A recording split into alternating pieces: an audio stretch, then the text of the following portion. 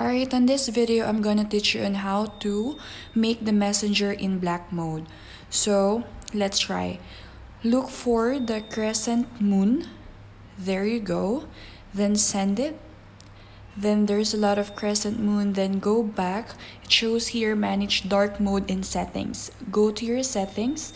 Then there is an option here, dark mode. Then switch it on. Alright. And then go back.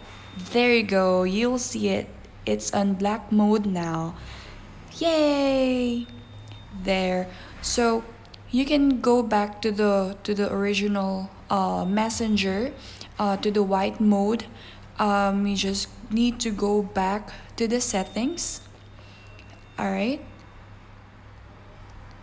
so there you go. I'm just typing with my mom. I'm just messaging my mom that uh, I'll be taking a bath. So there. So for for uh, to go back to the original uh, messenger, just turn off the dark mode settings. Then there you go. It's in white mode now. Thank you for watching.